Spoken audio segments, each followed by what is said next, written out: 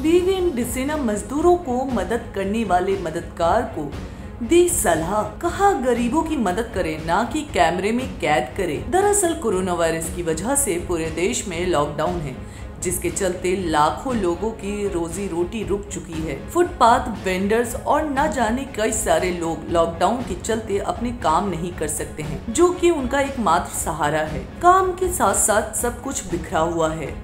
ना खाने का ना पहनने का, ना ही रहने के लिए छत है। कोविड 19 के चलते लोगों को सोशल डिस्टेंस मेंटेन करने के लिए कहा गया है।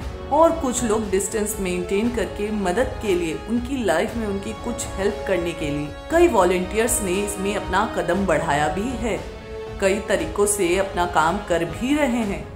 फ़ूड डिस्ट्रीब्यूट करने से लेकर उनका मेडिकल चेकअप तक कर रहे हैं। यहाँ तक कि रहने को जगह भी दे रहे हैं। चाहे वो सेलेब्स हो या आम जनता क्यों ना हो।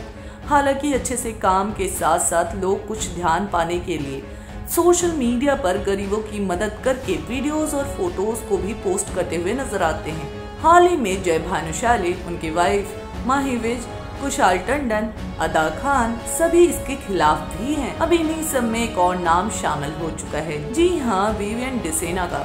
उन्होंने अपने इंस्टाग्राम पर एक फ़ोटो शेयर की है, जिसमें लिखा है when helping the poor people leave your camera at home इस तरह से विवियन ने लोगों को संदेश दिया है किसी गरीब का मज़ाक ना बनाए। उनकी भी इज़्ज़त होती है।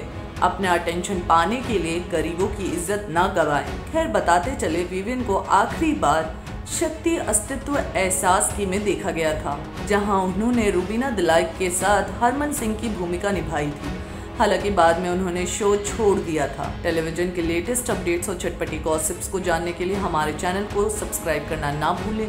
अगर आपको हमारा ये वीडियो पसंद आया हो तो लाइक शेयर कॉमेंट ज़रूर करें।